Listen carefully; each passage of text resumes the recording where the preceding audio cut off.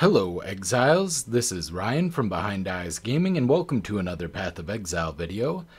If you look at this node right here, this Ascendancy node, it says Onslaught, and it's pretty good. It's on the Raider, and it grants you 20% increased attack, cast, and movement speed. A lot of people like having Onslaught and go out of their way to get it. What if I told you you could, on almost every character, basically every character except maybe a summoner, you could have this node for free? All you have to do is give up one flask slot. And the one I'm talking about is Rotgut. Rotgut is an extremely common Quicksilver flask. It's very cheap, it's very common, and all you have to do is uh, go to your crafting bench here and for the price of five instilling orbs and five glass blowers baubles. Uh, you quality this up with glass blowers baubles, and then you have reuse at the end of flask effect. Put that on there, and I will demonstrate how it works. You can do this on any character that can generate uh, frenzy charges, and pretty much any character can generate frenzy charges as long as they have blood rage. So it's very, very easy. Uh, you can get very long effect on uh, Rotgut. I have a low duration uh, roll on here, but if I wanted to use a Divine, in fact, yeah, this is basically the low level. I'll do a level 16 uh, alleyways really quick just to kind of show uh, that. I'm, I'm not going to put anything fancy. I do have some uh, sextants on there, but outside of that, just going to do a regular tier 16 Elkton Go.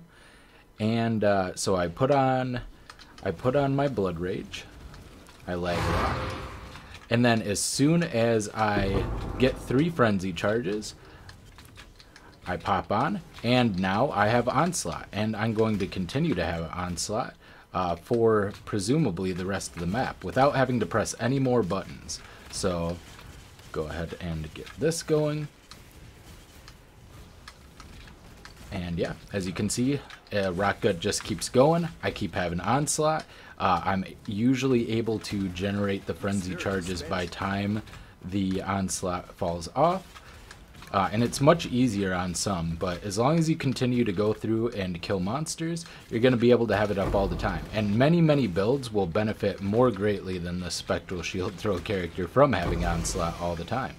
So we'll be able to get that going as well. But and the only problem is when you have to stop to loot or do some stuff. But if you're really speeding through a map, uh, yeah, Onslaught City, baby. So got that going. And luckily, my shield charge does benefit from both that, uh, both the movement speed and attack speed. So I guess I do have that going for me. But yeah, you're going to be mapping faster, and you're going to be uh, you can actually equip this at level 40, so you can use this while leveling as well. And it's even easier if you have other ways to generate frenzy charges, such as uh, on a trickster or on a raider. If you don't want to get the onslaught nodes and you want to get the phasing stuff, uh, you can use this and still have permanent onslaught on your raider. And not only that, but things like Trickster and Raider can keep this up permanently against bosses too, because there's an extra line here, which is uh, you have a chance of gaining uh, frenzy or flash charges on this when you deal a critical strike. And this is incredibly powerful on, you know, critical strike builds, meaning you can permanently have onslaught up on boss fights as well, as long as you have other ways to generate uh, frenzy charges. So let's just do this boss real quick. And as you can see, it does fall off during the bossing, unfortunately, uh, because I don't have ways to generate frenzy charges uh, during the boss fight itself. But outside of that, I was able to zoom through the whole map pretty quickly and uh, get that done. So there you go. Cool. Perfect.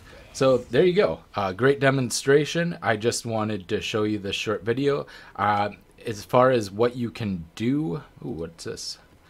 Ah, distant memory, sick. Hell yeah.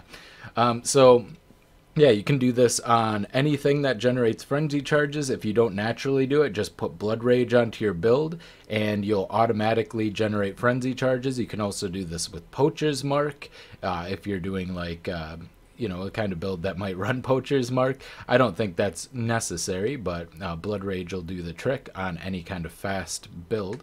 But yeah, it's really strong. I hope you try it out. This has been Ryan from Behind Eyes Gaming, and I will see you next time. Bye.